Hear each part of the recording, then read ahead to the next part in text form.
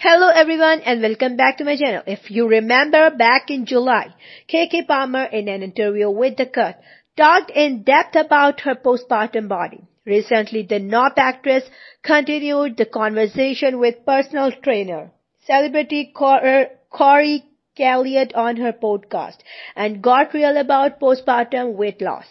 I just had the baby and they want me to be this representation of as a mom. You can blah blah blah. But also, I want to say like it's my job.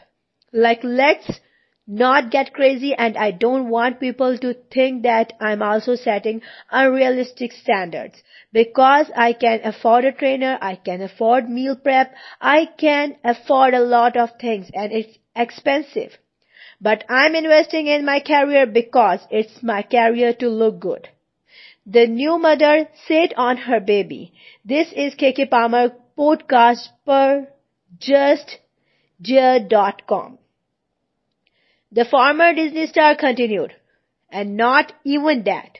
But it's my career choice to have this kind of career that I want to have. I specifically want to be in action. I specifically want to do certain things that would require me to be fit. You know? So it's like, it's a personal choice. And so I never want to put that on anybody. And that's big for me. Cause I know that a lot of people look at me and I represent a lot of people in different ways. And just what are those certain things that Palmer wants to do? Well, more action roles of course. I was 17 and I told you.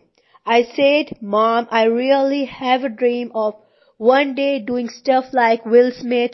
I want to be able to do comedy and action. And I was like, I got to get a trainer and I started training and training and training. I was always putting so much pressure on myself and I feel like with Nope, I got a great opportunity to do some action stuff. However, the multi-hyphenated entertainer said that although she is on a new journey for herself, she doesn't want to set unrealistic body standards for others because your journey is your journey. She even touched on the usage of the popular diabetes, diabetes drug Ozempic for weight loss. So, this is my thing with the Ozempic. I sucks, you know, I get the girls want to get into shape.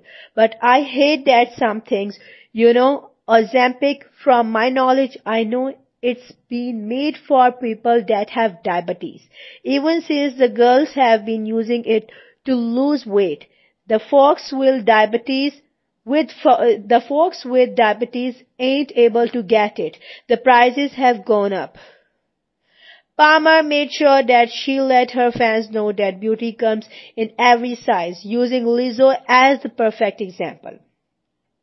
She loves aesthetic, she is sexy, she is fashion girl, she is confident, she is no, some, not somebody. That is like, okay, yeah, I'm overweight, but why did that mean I'm not sexy? Why did that mean I don't have a great wardrobe? Why did that mean I am not stylish? etc. criteria. And so I love that because I do think that there's this negative connotation that if you are overweight, all of a sudden that is indicative of how you feel about yourself. Palmer is unquestionably doing these things right. It seems as if she is nailing her postpartum journey on many levels and setting a mentally and physically healthy example for all women to follow. Thanks for listening and please don't forget to subscribe my channel.